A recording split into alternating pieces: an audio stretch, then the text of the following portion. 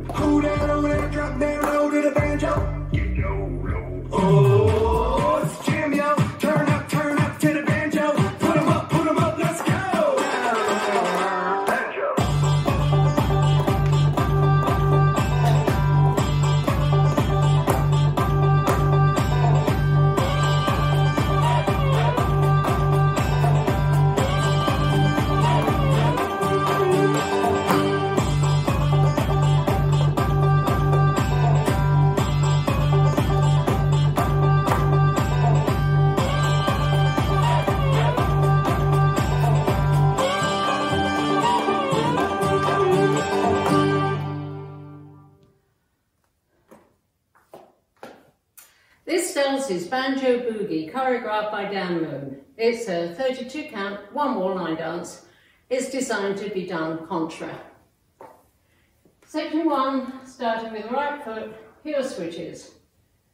Right, right and left, left and right and left and right, clap, clap. Section two, right side mambo, left side mambo, strong, right, left, shake for two counts. Section three, shuffle forward, right, left, right, left, right, left, step forward, pivot a half turn left, shuffle forward, right, left, right, last section, shuffle forward, left, right, left, step forward, pivot a half turn left, jazz box, cross, back, side, together.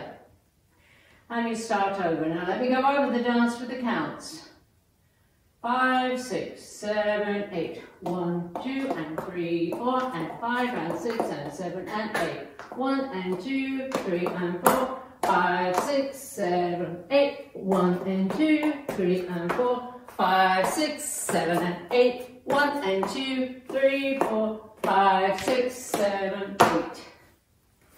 And that's the whole dance.